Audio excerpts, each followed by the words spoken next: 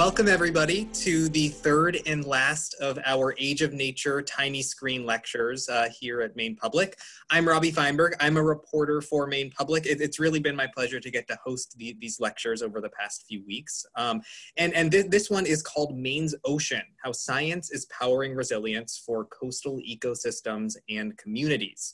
Uh, now, before getting into it, we want to thank all of our partners and supporters who made this series possible. So we have the, the Nature Conservancy in Maine, the Maine Education Association, the Maine Mathematics and Science Alliance, and then of course our member support. It is truly, you know, all of all of our supporters and members who help to make these kinds of programs possible here on Maine Public Radio and Maine Public Television. So thank you all so much. And just as, as some details, the Age of Nature, the, the documentary series that that premieres on Wednesday, October 14th, so so next Wednesday, on Maine Public Television, and it'll cover a lot of the same topics that that we've discussed here today. Also, similar topics to our past talks as well. Uh, and we have details for that on our website. You can just go to to mainepublic.org to learn more there. So I'm going to introduce our main lecture in a bit, but I'm very pleased that we have these experts who've taken the time to participate in our panel as well.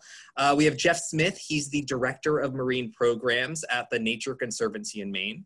We have Rebecca Clark Uchenna. She's the STEM education specialist for the Maine Mathematics and Science Alliance and the Citizen Science in the Classroom coordinator. We have Ben Martens. He's the executive director of the Maine Coast Fishermen's Association. And Gabby Hillier. She's the co-developer and project coordinator for the Maine Shellfish Learning Network. And so we're excited to hear from all of them in a bit. But before we go any further, I'd like to ask uh, Jeff Smith from the Nature Conservancy to read a land acknowledgement statement to uh, start us off. Thank you, Robbie, and good afternoon, everybody. we are here today to discuss the history, present, and future of Maine's oceans. And to do so, we must acknowledge the legacy and ongoing roles of the people of the Wabanaki Confederacy. From wherever in Maine most of us are tuning in today, we do so from the traditional territory of the Wabanaki people. The lands and waters of Maine have been their home for thousands of years, yet today they maintain the opportunity to steward less than 1% of their original homeland. Here, as in many places around the world, indigenous people have continually been denied the opportunity to participate in meaningful ways in the decisions that affect their traditional lands, waters, and livelihoods. Today, and throughout these Age of Nature presentations and discussions, we recognize and pay respect to the Wabanaki people and acknowledge their deep and ongoing connection to the future of Maine's lands, waters, and communities. Thank you.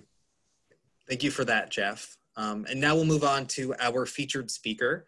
Uh, Dr. Heather M. Leslie is the director of the Darling Marine Center at the University of Maine and an associate professor of marine sciences in UMaine School of Marine Sciences. An international leader in marine conservation science, uh, Heather conducts research on the ecology, policy, and management of coastal marine ecosystems. She studies the drivers of ecological and social processes in marine systems and how to more effectively connect science to policy and management. Uh, Uh, specific research areas include coastal marine ecology, human environmental linkages, particularly those related to coastal areas, and the design and evaluation of marine management strategies. A member of the University of Maine faculty since August 2015, Heather received an AB in biology from Harvard University, a PhD in zoology from Oregon State University, and she conducted postdoctoral research at Princeton University. She lives right by the Damariscotta River in Newcastle with her two children and her husband, who is microbial ecologist uh, Jeremy Rich. Her topic today is Maine's ocean, how science is powering resilience for coastal ecosystems and communities. Welcome, Heather. Thank you very much. Thank you to Maine Public for hosting the series and all the partners and to Robbie for hosting. All right, Robbie, can you see the right screen? I can, yes, it's looking great. You're sounding great. Okay, thank you very much. Um, so again, thank you all for joining this afternoon. It's, it's really a pleasure and an honor to be uh, wrapping up this series, and I'm really excited to read your questions and hear the discussants' comments and additions to uh, what I have to share in the next 20 minutes or so. So the goal of my 20 minute presentation is to um, lay the groundwork for a conversation about how science is contributing to resilience for coastal ecosystems and communities here in Maine specifically. And it will start with a little bit of doom and gloom, I'll warn you, but I hope that you leave this presentation with uh, a recognition of how much hope and activity there is in our state in particular around ensuring a thriving future both for nature and for people. And this, this photo on the first page here is a great example of, of how these pieces are coming together. This is one of our students from the University of Maine who is conducting uh, research right off the coast from the Darling Center here in the Damariscotta River. And she's gathering information on plankton. And they're they can be esoteric, but they're also the foundation of marine food webs. So what we learn about plankton, the tiny critters living in the water, is super important to understand how our environment is changing and what that means for fish populations and fisheries dependent communities. And, and we have over 80 uh, fisheries dependent communities here in Maine. So um, basic science like this uh, provides a foundational piece of knowledge to help steward those communities into the future. All right, let's see, I need to figure out my arrows here. Um, as, I, as I mentioned up front, we're at a challenging time uh, for, for Maine's coastal communities. We're facing rapid change, both economically and uh, environmentally, and climate change is the focus of my remarks today. Uh, but that's not to uh, minimize other changes facing us, nor uh, the role of the, of the pandemic, uh, which has exacerbated many of the difficulties uh, that particularly remote and rural communities face on our coast. Maine's climate is changing, and I can see that when I walk out my back door. This is the mud flat that's just uh, a little bit away from my house on the Damariscotta River estuary. And on this mud flat, we're seeing the results of uh, climate changes that have been documented here in Maine and around the world. We're also seeing that sea level is rising. This is another view of the upper Damariscotta River estuary just around the corner from this landing. Uh, there's a parking lot, the Damariscotta parking lot, which has been at the forefront. Uh, the community of Damariscotta has been at the forefront of addressing climate change impacts like sea level rise. And the reason for that is that on king tides, there's often water creeping up into the parking lot or even up through the storm drains more than once a year uh, in, in recent memory.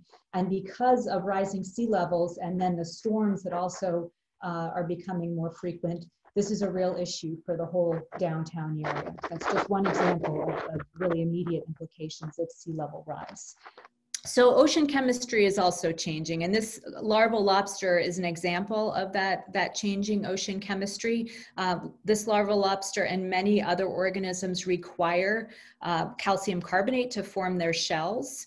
And uh, this is one of the newer elements of sea of, of climate change impacts that uh, we're facing from a scientific perspective. We really only started measuring ocean acidification or the decrease in pH in the ocean uh, in the last 20 or so years, at least in this part of the world, regularly. And so uh, this is something that's being tracked very closely in the scientific community here in Maine and elsewhere, because if the ocean pH changes dramatically enough, it's going to be hard for organisms like this to form their, form their shells. And finally, the value and the diversity of Maine fisheries have changed dramatically in the last 50 years. Uh, and this figure uh, from the Maine Department of Marine Resources illustrates that. I just want you to focus on two colors, not everything that's going on here. If you look at the bottom, that's uh, years from 1950 through 2015. And then in metric tons, you are seeing uh, the change in fisheries landings from the mid part of last century till, till nearly current day. And you can see on the right the dominance of lobster. and also the decrease in landings that are uh, contributed by other species. So we're really now in a very lobster dominated state. Whereas 50 or 60 years ago, it was much a much more diverse set of species, many different colors there on the left-hand side of this slide, uh, representing many different species and groups of species that were caught by Maine fishermen. So the consequences of this uh, are important not just for the environment and understanding what's going on under the surface of the ocean, but it also matters in terms of what products are available for fishermen and fishing communities to distribute here in Maine and in other parts of the world. And there's consequences uh, also in terms of uh, local economies and um, social networks. So just to drive this point home a little bit further, uh, how people fish, not just what people fish, has also changed through time. Here's a picture from, or a, a wood print from 1892 that depicts uh, how cod were caught hand lined off Grand Banks uh, and areas closer to our coast here in Maine. And while the technology has certainly evolved a lot in the 100 years plus since this image was made, uh, you can see from this picture how closely linked people are to the ocean has not changed, that we still depend on the ocean for sustenance and for employment and for adventure. Uh, and these interlinkages between people and ocean environments are really something that I think sets us apart as a state. Uh, our coastal communities and our ecosystems are foundational to our identity as well as to our economy. And for that reason, coastal and marine issues were ones that were called out uh, in the Maine Climate Council formation last year in a, in a particular way. And I had the good fortune to lead the working group that provided information and suggested strategies to the Maine Climate Council in this area of, of the coastal and marine domain. So I want to talk a, just a little bit about uh, some of the science that informs the work that we've done here in Maine on climate change responses. And then I'll briefly introduce the range of strategies that our working group uh, brought to the council. And then we'll, we'll have a chance to have discussion about it. So a lot of the, the science um, that is being done in support of managing these climate impacts is in the area of um, what's called ecosystem-based science and management. And this is a science and management approach that recognizes the connections that I just went through, the connections between people and nature, between fishermen and fisheries, uh, between coastal economies, and uh, the estuaries that, that are right alongside them. It is a place-based science. It demands information at a finer scale than we've often had in the past. And it encompasses these many different activities and values that people have for ocean ecosystems. Importantly, it also attends to changing conditions. So we are managing uh, both for resilient human communities and also for resilient ecosystems. One example of this type of ecosystem-based science is work that I've led in collaboration with a lot of different partners uh, under the rubric, the Maine coastal resilience project. And we've had a number of projects in different parts of the Maine coast, but they've all uh, been focused on these three objectives. First, identifying features that contribute to the resilience of coastal communities and ecosystems to change. Secondly, working with individual coastal communities like Damariscotta and Newcastle and the community of Georgetown and also Bremen, where we're synthesizing data and bringing it together in a way that's useful for decision making at a really local level.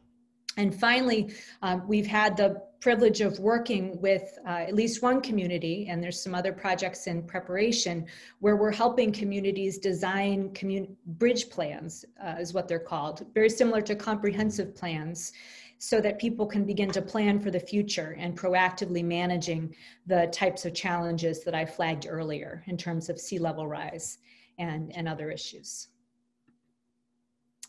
Uh, in the communities of Damariscotta, Newcastle, and Bremen, we have a shellfish resilience project that's actually been ongoing since 2019. That's why nobody's wearing a mask in these pictures. These are all um, from the before times. And in this project, which is funded by the Broadreach Fund, among others, we are working with local communities to provide better ecological information for shellfish management. And as part of that work, we're also gathering uh, local knowledge from harvesters, like the person shown on the upper right, um, as well as uh, boat yard owners and municipal leaders and other folks who have important information on how these uh, coastal ecosystems have changed through time and also really distinctive and important perspectives on what they might look like in the future. So this is an example of a project where we're responding to community interests and need, and we're integrating information both on the types of changes that I described earlier um, related to, to the coastal environment, and we're, we're bringing in not just scientific knowledge, but also local knowledge to help solve problems. This figure just depicts that approach. Uh, it's a lot of bubbles, but, but to, to break it down, if you look on the right-hand side, you're looking at uh, the ecological domain. So we're studying clams and we're doing that in a really local way in the Damariscotta River estuary. But we're thinking about how are those clams and their offspring impacted by changes that might be due to uh, influxes of nutrients or changes in water chemistry that are actually coming from way out uh, in, in the open part of the ocean in the Gulf of Maine. So we're thinking about those linkages between the very local and the larger marine ecosystem. And similarly, on the social side of things, uh, particularly focused on these wild caught shell fisheries in the, the mid-coast part of Maine, we're thinking about how individual harvesters are impacted by changes in regulation and changes in price, and what sort of um, support and challenges local uh, institutions and regulations create for people who are making a living off of the clam flats. So there's a, a multi-scale nature to our investigation and um, what I think makes it quite different than a lot of work that's been done like this around the world is that we really, we don't start with this bubble diagram. we start by listening, listening to the questions that people have and the challenges they're trying to overcome. And then we build these types of figures together in ways that um, hopefully help us uh, gather information and apply it in ways that are that are meaningful. So uh, one thing that that I, wa- I want to drive home is is that we're in a pretty unusual position here in Maine. We have some of the literally the world's experts in ecosystem based science and management, people who are called, uh, until the last several months anyway, called all over the world to work on fisheries and forest related questions uh, and take this type of ecosystem based approach. And fortunately, in, in the Maine Climate Council process that I want to spend the last few minutes here on, um, the state of Maine, uh, we were all able to leverage this expertise that people have in order to address the, the goals of the Maine Climate Council. Robbie, how many more minutes do I have left? As many as, as you, you really need. We're doing well on time. So, you know, even five or 10 minutes if you need. Thank you. Yeah, sure. Uh, so again, I just want to briefly introduce the, the goals of the Climate Council for those of you who aren't familiar with it. And then I'll talk a little bit about the types of recommendations that the Coastal and Marine Group in particular um, made to to the climate council. And this is very much an ongoing process. So um, two things i again i want you to take away from this talk. One is there's a lot of reason for hope both in terms of the science and the action. Secondly this climate council work is not fully baked. So if this is all new to you now is a great time to start paying attention to what's going on because um, the next months and next couple of years are going to be really important in terms of how this process um, influences our state and our state's future. These are big goals here that were set uh, in motion through uh, legislative action and the governor in 2019, and that led to the launch of the Climate Council in September 2019 to respond to these four goals. First, to meet the state's bold emission reduction goals, so to cut our carbon. Secondly, to support resilience and adaptation by Maine people and Maine communities. And third, to do that while growing good paying jobs and deliberately and carefully uh, setting up systems that provide for points of transition to a low carbon economy for people who are going to be particularly impacted by this effort to move to a low carbon economy. So um, people who are living in remote communities, rural communities where we need to drive more to get where we need to go, individuals who are more elderly, who have faced particular challenges in terms of accessing services, particularly if roads are flooding more, more frequently. That uh, addressing those challenges and those vulnerabilities is, is core to the Climate Council process. So I want to take you through uh, about six strategies here that the Coastal and Marine Working Group came up with. And um, the great news is, is that many of the other working groups, there were six of us all together, six groups, came up with very similar strategies. So hopefully that's making the council's job a little bit easier because they can look across the folks who were thinking about forests and agricultural lands and the people who were thinking about energy and building and the folks who were thinking about emergency management and coastal resilience and those of us thinking about uh, coastal and marine systems and see some really clear patterns. This first strategy focuses on knowing what's going on so that we can do something about it. Uh, we we articulate a number of measures that could be taken by the state or other partners to track climate impacts and support adaptive decision making, particularly at the local level by towns as well as by state government in partner with many others. So here are two images of state uh, agency scientists who are out gathering data on our changing salt marshes and our changing fishery stocks. And that type of information is absolutely essential so that we have a sense of how our environment is shifting and what the consequences are likely to be for Maine communities and uh, Maine, the Maine economy going forward. The second strategy set focuses on providing technical assistance and outreach. And this already happens in a lot of different ways through cooperative extension and Maine Sea Grant and many other entities across the state. And so we call those out as good examples, and we also uh, make some suggestions, in this case, particular to the coastal and marine uh, do domain, where uh, enhanced technical assistance could be really helpful for Maine families, for Maine businesses, and for Maine communities. So a lot of this emphasis is on um, local scale support so that people get that information on monitoring that they need to make better decisions for their, their businesses and their communities.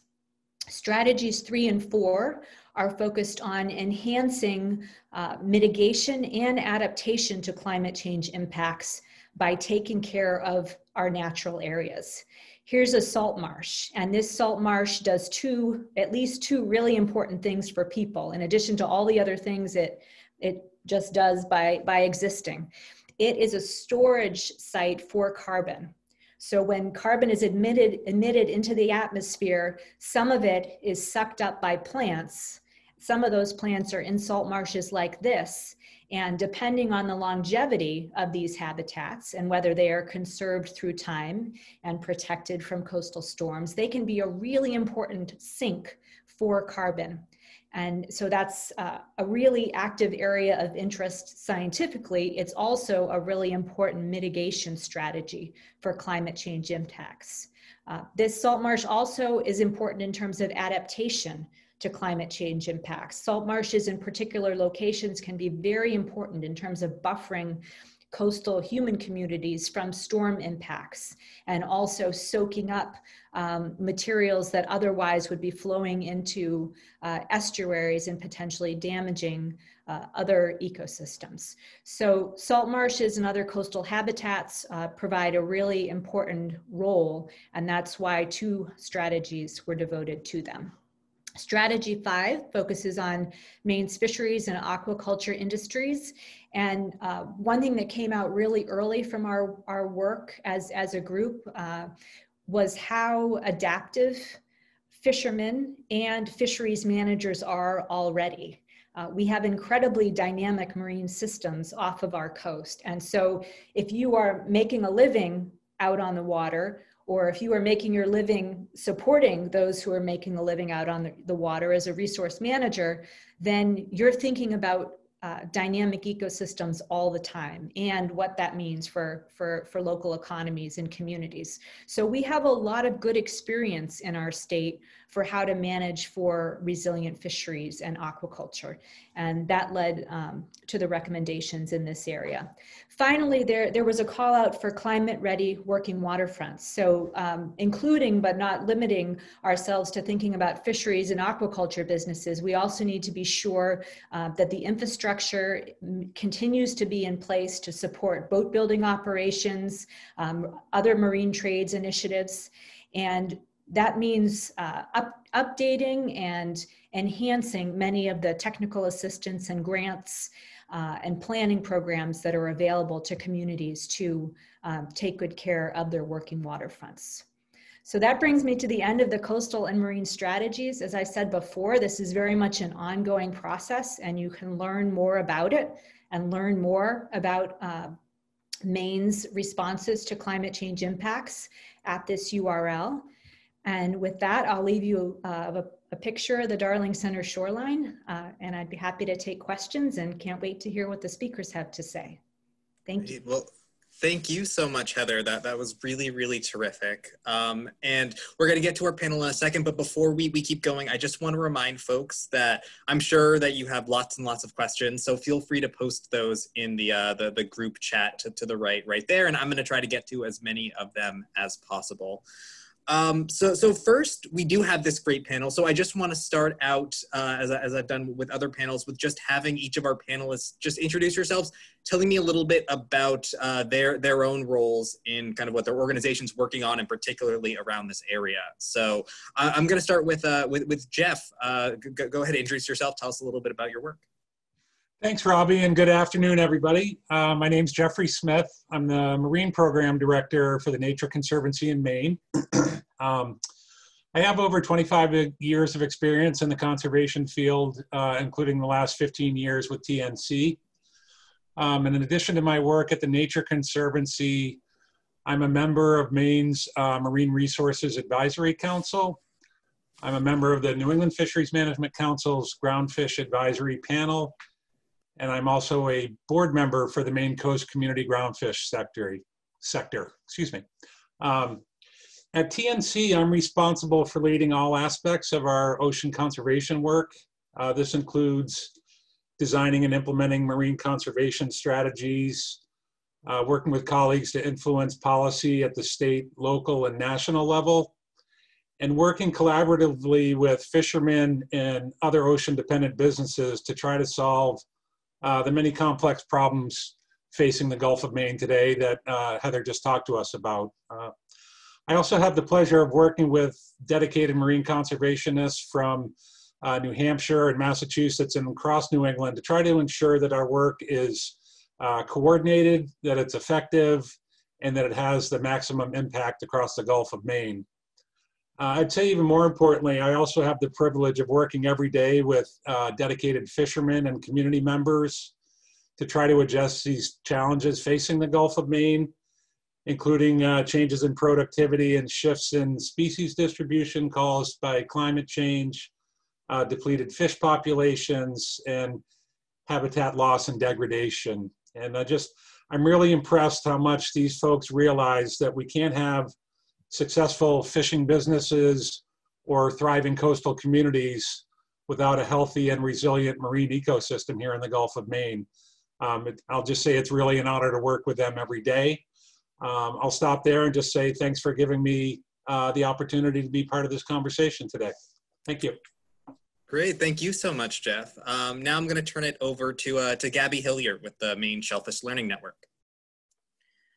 Hi, everyone. Uh, my name is Gabby Hillier. I'm the project coordinator for the Maine Shellfish Learning Network, um, which is an organization that's focused on supporting a lot of the efforts that Heather already described, particularly with the Maine Shellfish Restoration and Resilience Fund projects. I'm also a PhD student at the University of Maine Orono um, in the National Research Traineeship Program. So a lot of my work spans the gambit between serving as a scientist and as an advisor, as well as a connection between different communities, the projects that they work with, and um, a number of information blocks that happen between governmental institutions and communities. I'd echo Jeff's comments that I work closely with a number of dedicated harvesters, fishermen, and stakeholders who are always very adamant about being aware around the problems that they're facing and very active in trying to respond to those issues. And I would also echo that while the way that Heather presented a lot of the issues with this current of hope, I find hope a lot in the work that I do around how many different ways um, Mainers have been able to find new techniques to respond to the challenges that we face, particularly in our coastal ecosystems. And thank you also for the opportunity to be part of this conversation. Great, thank you, Gabby. Um, and now uh, Ben Martens with the Maine Coast Fishermen's Association. Hi, uh, thank you guys. Uh, this is a pleasure to be here with everybody today. And Heather, fantastic job on the presentation. So I'm, I'm Ben Martens. I'm the Executive Director of the Maine Coast Fishermen's Association. We work with community-based fishermen up and down the coast of Maine who work in a variety of fisheries from groundfish to lobsters to scallops to herring. And essentially we work with fishermen who believe really strongly in the idea of stewardship, in the idea of conservation, and uh, really that everything we are doing today should be building a brighter future for the next generation of fishermen throughout our fishing communities. Uh, so our fishermen are the ones who are advocating for different types of policies and projects um, that support the work that uh, you know our other colleagues have, have kind of touched on when they're talking about conservation uh, projects. Um, but we we have fantastic fishermen that really are trying to create the change um, and drive the change from their perspectives on the water um, in the Gulf of Maine. Uh, so we do a lot of different projects as an organization. A lot of it's based on policy um, and research. Uh, we've done a, a, bunch of work around working waterfront preservation as well. But I'm, I'm really excited to dig into the conversation today and, and touch on some of the questions I'm seeing popping up already about what's happening in our marine resources and how that, that impacts what's ultimately ending up on our dinner plates, which is a, a big driver to a, a, lot of this conversation is uh, the seafood that we're catching and then and hopefully eating in Maine. So thanks. Great, Th thank you, Ben. And and last but not least, uh, Rebecca with the Maine Mathematics and Science Alliance. Hi everyone, my name is Rebecca Clark Uchenna, and I'm really excited to be a part of this great panel. Um, there is a lot of doom and gloom out there right now, um, but I think our conversations um, will leave you feeling hopeful at the end. Um, so I work for the Maine Math and Science Alliance. I'm one of the STEM education um, research specialists. Um, and MMSA uh, works in K-12 um, education systems, so in school and out of school, after school programs. And STEM stands for science, techno technology, engineering, and math. So that is our focus, um, all things STEM. Um, I wear a couple of different hats in the organization. Um, I am one of the co-fair directors for the Maine State Science Fair, which happens um, every spring. So be on the lookout for Maine State Science Fair promos. Um, and I am also a program coordinator for the citizen science program called Weather Blur. And Weather Blur is uh, elementary through middle school program, um, and it is open um, to schools here in Maine. And we've also partnered with schools in Alabama and Mississippi, uh, looking at their local ecosystems, very place-based education. Students create their own investigations um, around observations that they've made in their backyards or in their schoolyards. Um, and then they create these community action projects. Um, so it's been really exciting to be a part of that program. We've had students investigate green crabs, uh, microplastics, sea level rise, um, king tide flooding, um, really focused on changing climates um, and observations that they're making on a daily basis. Great. Thank you so much, Rebecca. I appreciate it. And then thank you to all of our panelists again and to Heather. Um, we're already getting some great questions and feel free to write those in in the group chat. But I, I want to start with, with just kind of an, an overview question. Um, this might be at you, Heather, first, but I'd love to, to get everybody else in this. Is just Heather, you talk so much about the the the changes and kind of the the the, the bridges that we're already seeing, the adaptation. And I guess I'm just wondering how just kind of a, a status update of like where we actually sit, where our commu- coastal communities are right now in terms of how much they know about climate change, how much they're still learning, and, and how much they've already adapted. So can you just kind of do, do we do we know kind of where where we stand right now with that? That's a, a very good question um, that I give a partial answer to. That I, I think it's a little bit hard to know if we are not explicitly uh, asking people directly where where do you stand. So organizations like the Maine Municipal Association as well um, as some of the sustainability scientists associated with the Mitchell Center at UMaine. Um, they, they have asked questions like that of communities in particular places, but I don't know, perhaps another panel member does, of any um, survey that's been statewide. Uh, so mm-hmm. there's been more there's been more targeted surveys for sure in particular communities or parts of the coast, but statewide. My own anecdotal impression from working statewide and in other parts of the world on these issues um, is is uh, that we are in a really great place in some cases with some of these challenges and that we have a real long ways to go with others and i think that's part of the reason why um, why so many of us dug in uh, when the when when the governor's office asked us to engage on the climate council work is because we see innovations and signs of hope but we also see that there's a long ways to go on on pieces of these issues. Yeah and anybody else want to add to that? Jeff i see your hand. Oh jeff you're still muted apologies for that hopefully that'll be the last time i do that um, I, I think here at the at TNC, we're, we're certainly seeing a, uh, a growing interest in this in this area of what's happening with coastal, coastal communities as a result of climate change.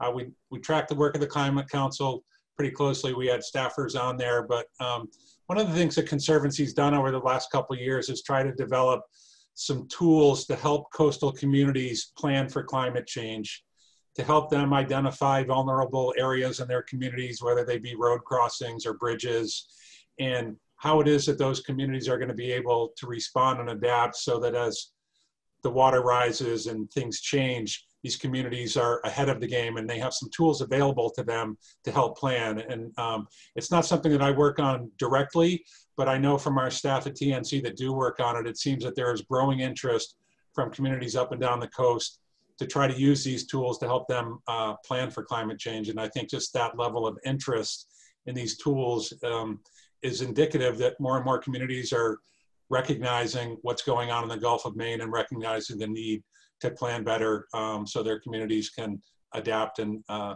and be safe in the face of climate change. Great. And, and Ben, I see your hand as well. Yeah, so uh, you know, when we talk about communities, there's lots of different communities and how you might define them. And so, in terms of like the fishing community at large, as we're thinking about boats out on the water or, or people digging in the, the mud flats, um, fishermen have been on the front line of seeing change coming, right? Their fish stocks are heavily dependent on temperature. And so, fishermen for years have been saying things are changing, things look different, um, this is weird. And now we're at that stage where we've done the conversion from things look weird to how do we start to adapt or hopefully mitigate and stop some of the some of the changes happening and and that's really where um, the work that Heather's doing in the Climate Council could be really valuable, um, and and hopefully, um, you know, we can start reducing climate impacts because we we need to to kind of stem the tide. We can't just mitigate away the problem. We can't just um, adapt away the problem, and uh, and hopefully that's that's part of the equation that will be coming out of the climate um, process is you know we want to reduce those uh, those types of, of emissions along our coasts. And we think the fishing community can be a real important part of that equation um, in both you know seafood as a good source of, of food that is carbon friendly but also working waterfront and, and other types of um, you know efforts along the coast that can really be helpful along the way. Yeah, Ben, I actually, this is somewhat related to, to another question that, that I had for you as I was thinking through this, which was just, obviously there have been so many other factors that have been affecting Maine fishermen, you know, over the past, you know, six, six months with, with COVID and everything like that. How does a community like the, the fishing community in, in Maine, how, how do you balance both just dealing with those like short term impacts of like making sure fishermen survive through this while also focusing and advocating for those longer term issues as well?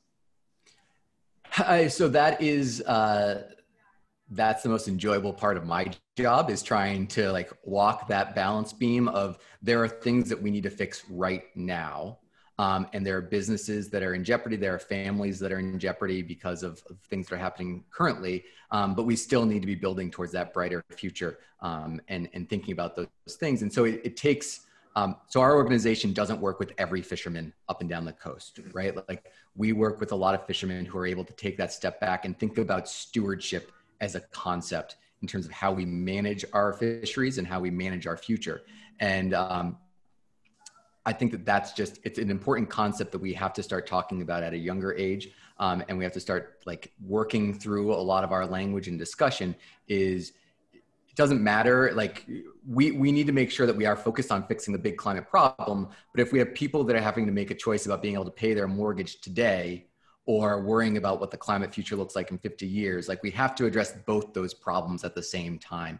And um, it takes money and investment and caring people along the way to make that happen. So we, we struggle there, but that's also the most, that's where the innovation and opportunity lies in where those things rub together. How do we get so that people are healthier in their current state of living, but also we're building towards that brighter future. And um, we have a lot of great people in Maine who are, who are striving to make that happen.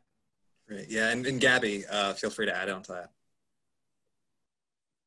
Sorry, I lost my mouse there for a bit. Um, yeah, no, I think I think echoing kind of what Ben said, um, a lot of my work is very community based, and I work primarily with with uh, soft shell clamming communities across Maine. Um, and what we've been seeing play out at the MSLN is that we see individual communities are really focused on those short-term solutions, particularly with COVID, that the responses were really on the ground on a localized level. Um, and then we kind of saw this second wave of larger statewide response to the disruption that COVID-19 had caused.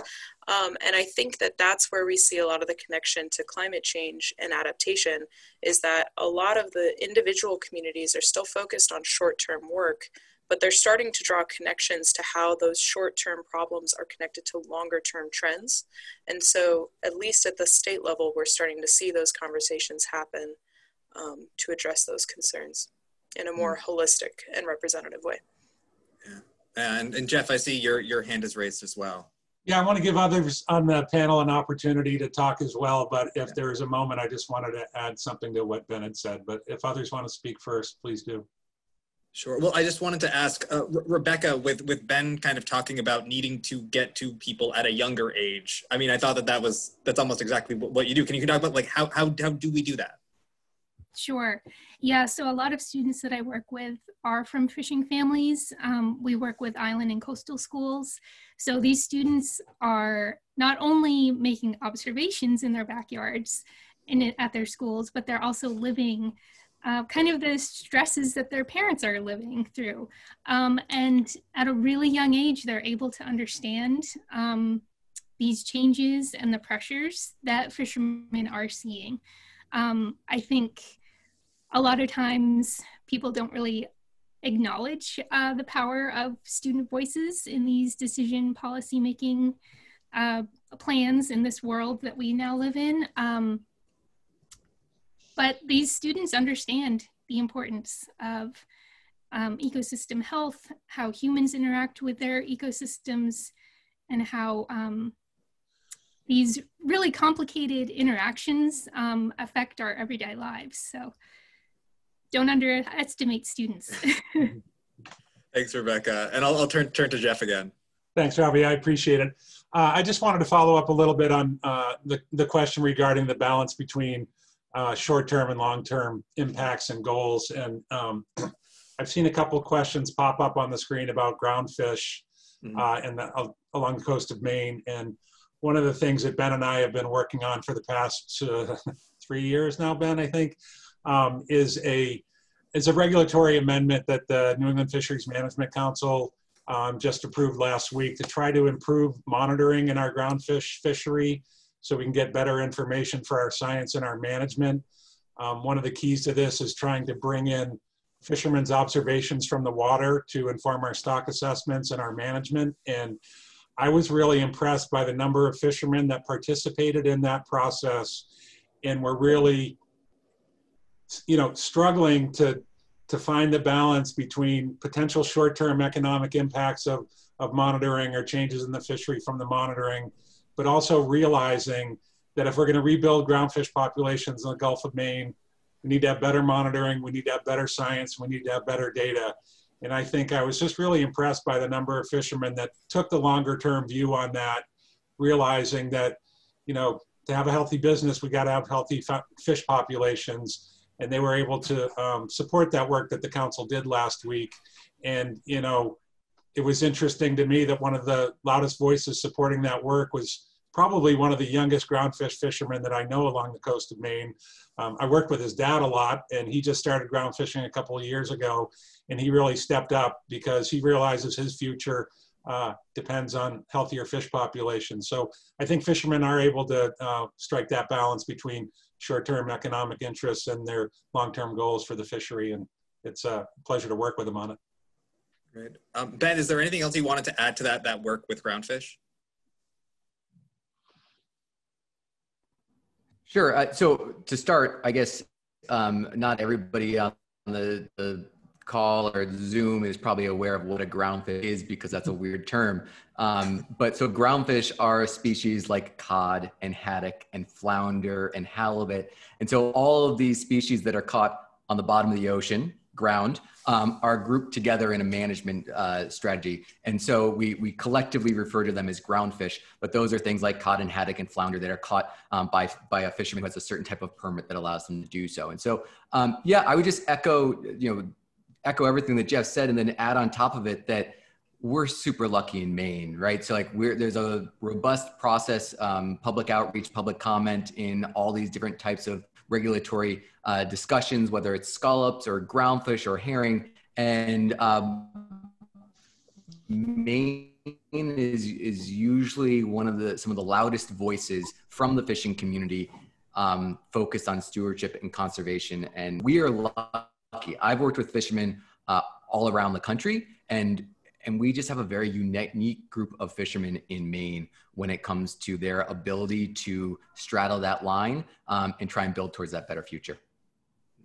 Great. Um, so I'm going to try to turn to because I, I, know we're, we're already short short on time, and so I want to get to some of the, more of these uh, these questions from our uh, our listeners and viewers. Um, so one of them is just kind of a, a big overview question of th- that, any of you really could take. But can you discuss the reasons why the Gulf of Maine is warming so rapidly compared to other areas of the world's oceans?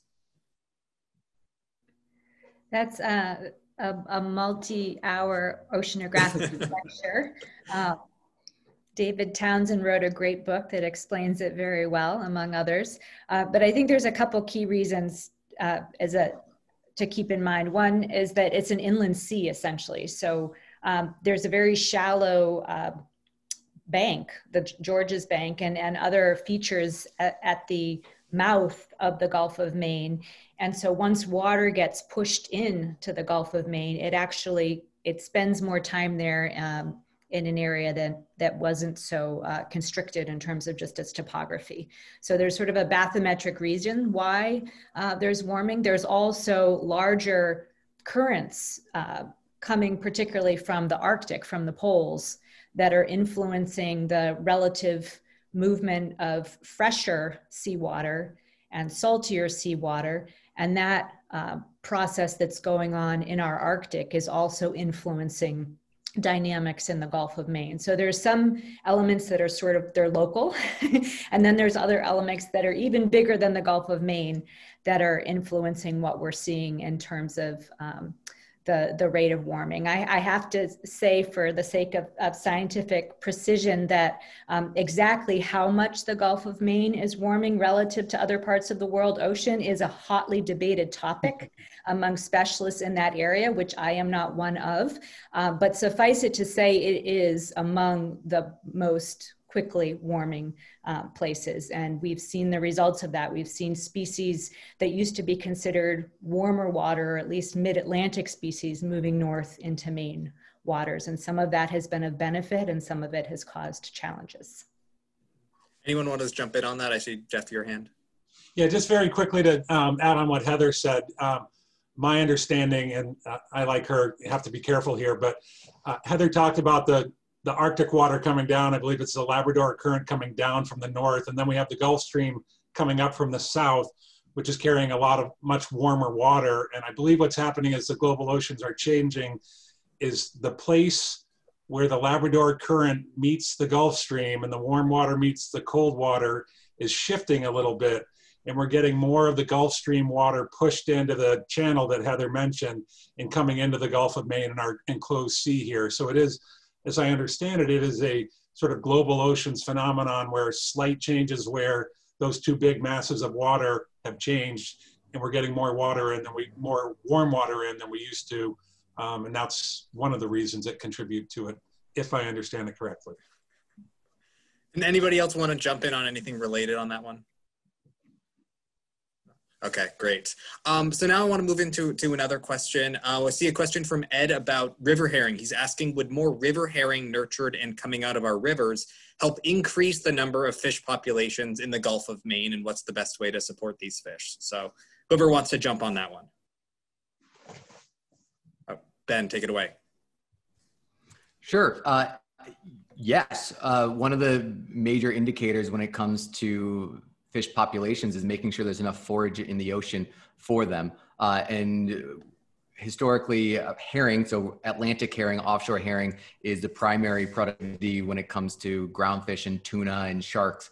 Uh, and that population has declined significantly over the past 10 years. Uh, and so, if we can do other types of work to bring back the more inshore species, uh, the hope is, is that we'll kind of protect and rebuild those you know those stocks and then in turn those higher up the food chain will have enough to eat. Um, that being said the ecosystem is very different out there now than when those dams went up. Uh, and so we don't know what the inshore grounds are like any longer. There's a lot more lobster traps uh, out there. There's a lot more bait um, to put in those lobster traps. So you know, typically cod and haddock, uh, they would chase the river herring inshore, and uh, there's there's some concern that because of how we have changed the ecosystem that that might not always happen any longer. Uh, but that being said, we should be returning those. You know, river herring are great, great uh, primary productivity along our, our coast, and we should really be you know rebuilding those um, in the hopes that they start to bring some stability to the offshore ecosystem at the same time. And then we also see what's the best way to support these fish as well. Is there you know something that communities or people should be doing? Yeah. So the real simple answer is that like the dams are dams and other things that are impeding the way of river herring. Those are mostly municipal uh, issues. And so that's showing up to your town meetings. That's getting your towns and others within communities involved in fixing those dams. It's like, and it's not always big dams. Sometimes it can be like a collapsed culvert that's standing in the way. And so um, there are very simple things that locals can do by getting involved in their towns and communities to have a voice. Yeah, we really heard that last week. Laura Rose Day was was with us on our, you know, and she was talking all about that and you know what you can do locally about, about that issue. So um, yeah, but I see I see Jeff uh, raising his hand as well. If you want to jump in. Again, I want to give others the opportunity yeah. to talk, but I did have something to say, so I will pause, and if no one else does, I will say something. Okay. Anyone else want to jump in? We'll let we'll let Jeff go, and then I'll turn to others. Thanks, Robbie. I did, yeah. I'll be quick. Um, you know, Ben mentioned earlier that we're we're lucky to live in Maine. I think this issue around um, restoration of sea-run fish, uh, alewives and shad, et cetera, is something that the state of Maine has embraced. Um, everything from large-scale river restoration projects like the Penobscot River uh, restoration project to much smaller ones. And I think that um, Ben really hit on it very well that there are big dams that are in the way, but there are also are a lot of culverts and ream, uh, stream crossings that we need to address. Um, the Conservancy has helped, again, uh, local communities with some tools to help them look at barriers um, to fish passage. Uh, and it's really, I think, from our perspective, it's it's a win-win on some of those smaller culverts because um, you know when those culverts are undersized, the fish can't migrate up them, which is a problem for the fish. But it also can, um, you know, causes flooding of roads and causes real problems for those communities when those undersized culverts fail or back up water. So the the river connectivity work is, I think, very important for both the, the fish that need to get up and down the river, but the communities that um, have these undersized culverts. And um, we're, we're, really happy to be able to provide those communities with some tools to help them look at um, where their culverts might be undersized, how they might be able to replace those, and to help them find funding to do it. Because it's, uh, you know, there's not a lot of them, but it feels like one of the proverbial win-wins for, for both communities and fisheries uh, on river restoration work. Right. Um, a question somewhat unrelated, but I did I did want to get in there was um, just about how to get these kind of messages out in the different ways that that that you know you all and others are are doing this. Um, particularly, I was interested in, in asking Gabby about. I, I, was noticing in the work that the Maine Shellfish Learning Network is doing that they have experts in both like communications and journalism, kind of working on some of this to get the message out there. I guess Gabby, can you? We'll start with you. Can you kind of talk a little bit about that that work and the I guess the importance of of getting that out and not just kind of letting I guess science be be science and insulated from you know publicity and all those different things. Yeah, um, I can definitely speak more to that. Similar to Heather's response about the warming of the Gulf of Maine, that could easily be its own hour, two hour conversation. Um, but uh, my work represents kind of a team collaborative effort. So I work very closely with Dr. Bridie McGreevy and Dr. Anthony Sutton, um, both of whom bring great perspectives about communication and science communication in particular.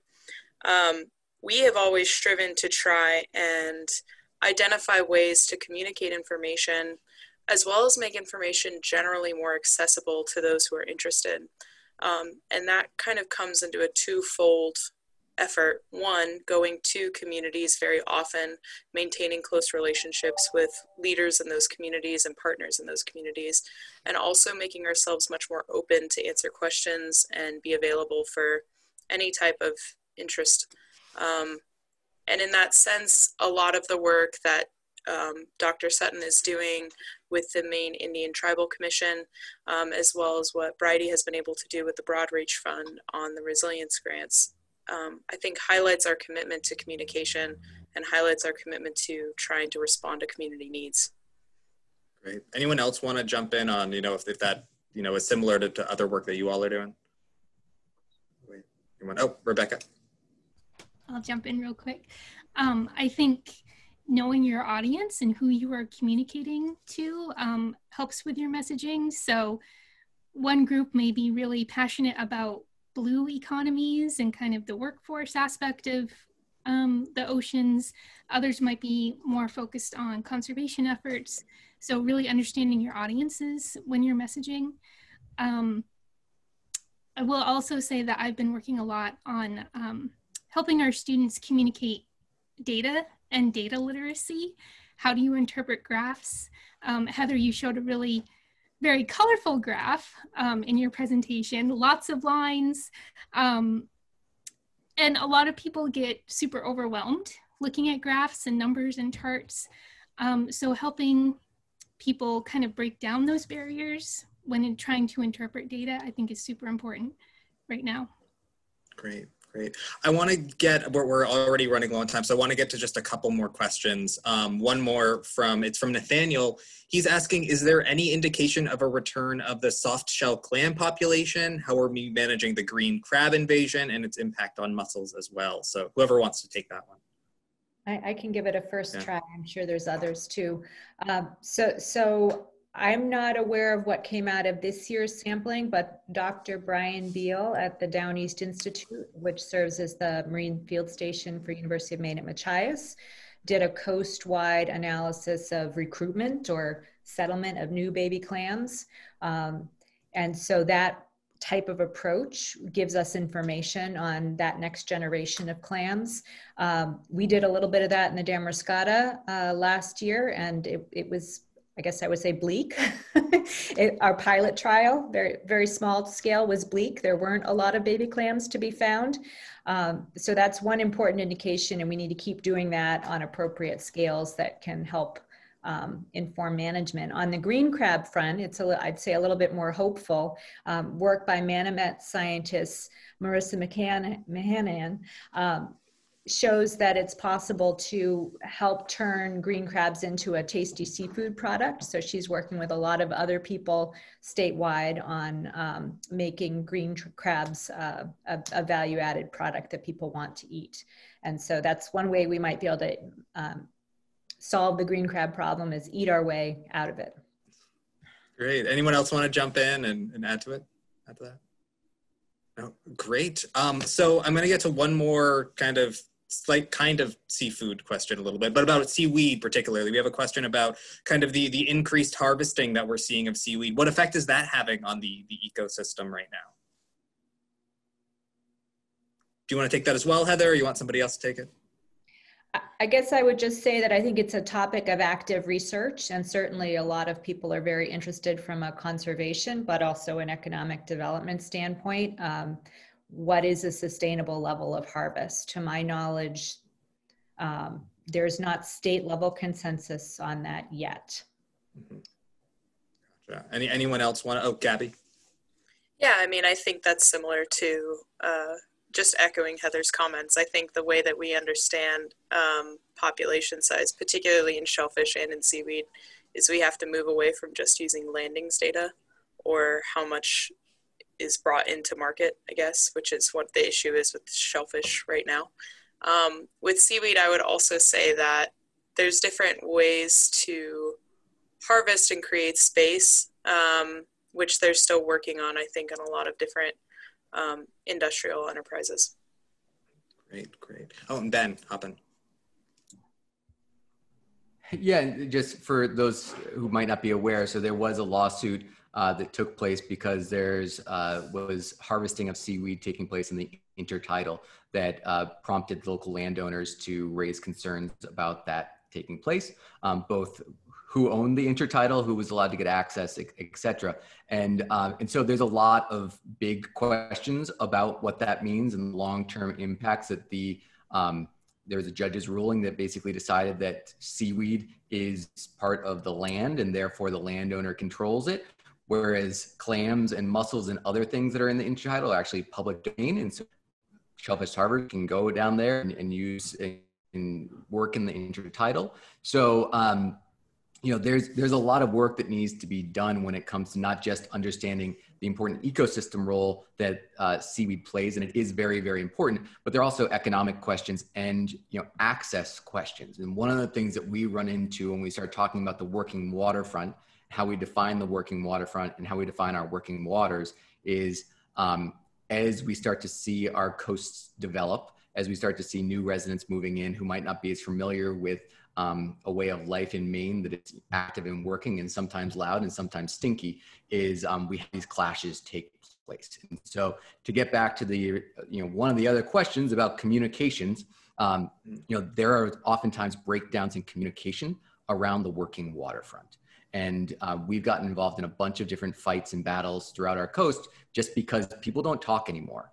And that is one of the places that I would really heavily encourage everybody who's participating in this and um, sharing is like, we are one big community along this coast and the working waterfront is an opportunity. And whether that's the mud flats or the rocks or the docks and wharves, uh, we need to have a little bit better of a shared understanding of what it takes to maintain and protect and invest in those places for the long-term stability of the ecosystem and the economy um, and a way of life, which is you know always always right on the edge of, of disappearing if we don't do our own stewardship of maintaining our, our working waterfronts and the working people of Maine.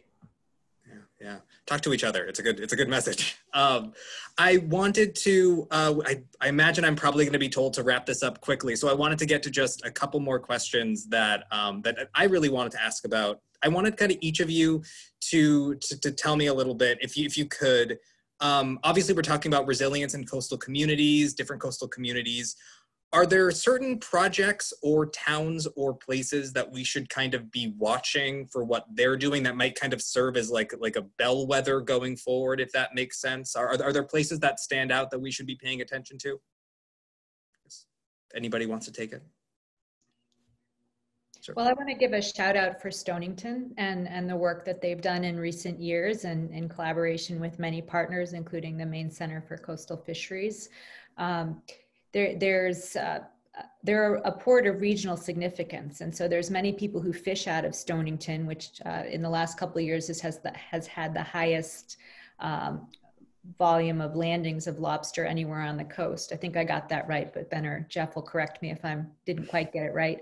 Um, they're a really important place, and yet and they're providing services regionally. So not everyone who benefits from those services is within those town boundaries and is paying taxes um, to support those services. So thinking about how to continue to be that port of regional significance, also managing rising sea levels and what that means for critical infrastructure like roads on and off the island, all those things are really complicated. And I've seen from a bit of a distance as part of uh, the work I've been doing in collaboration with folks at MCCF and elsewhere that Stonington's really taking the lead in this regard. And I think they'll be important to watch. Great. Um, other places, I think Jeff, I see your hand up. Yeah, just quickly, um, not to highlight this over other places, but yes, for one. So there's been some very interesting things going on in Georgetown um, right now over the past couple of years. I know they've done a comprehensive land use plan. They've incorporated um, climate change and adaptation to climate change in that uh, in that comprehensive plan. So I think they are they are looking to the future and planning. I know they've also done a lot of work in that community to try to um, help foster a uh, successful and sustainable oyster uh, aquaculture businesses there. They're, they've you know invested money and created micro lending um, opportunities so that people trying to get in the business have an opportunity to do it, but to also do it sustainably and responsibly. So I just I know there's some. Uh, I'm aware of some very interesting things going on in Georgetown. That certainly doesn't cover all of it, but if folks are interested, it might be a good place to look. Interesting. Any others that you all want to mention? Sure. Gabby? Yeah, uh, one of the towns I work with very closely, Waldoboro, has been able to put together, they call it the Medomak Task Force, which was this collaborative project to try and fix different water quality issues that were happening in the estuary and impacting shellfish. I think a lot of the work done in that collaborative space should be highlighted um, to the extent possible, just because it serves as a great adaptation to a lot of the different issues that we're talking about right now. Great. Thanks, Gabby. And anything else, Rebecca or Ben? If not, then um, I have been told to wrap it up, so I think that is what we are going to do. I'd like to thank you all, all of our panelists so much, and especially Heather for, for your presentation. Uh, thank you all. I'd also like to thank our sponsors today, uh, the Nature Conservancy in Maine, the Maine Education Association, the Maine Mathematics and Science Alliance, and then of course our, mem our members who make all of our presentations with Maine Public and Maine Public Television possible. Um, and then I just want to let everybody know that all three of these lectures will be online. They're at mainepublic.org. Um, they're on our on our website, and uh, they are you know a highly worthwhile view. I've gotten to sit on these panels. We've had so many great people. So uh, please watch them if you can, and feel free to to share them out once again at mainepublic.org. Uh, thank you to all of our viewers for spending time, our panelists again for uh, for stopping by today, and uh, please tune in to Age of Nature on PBS next week. Thank you all so much. Thanks, Robbie. Bye. Thank you.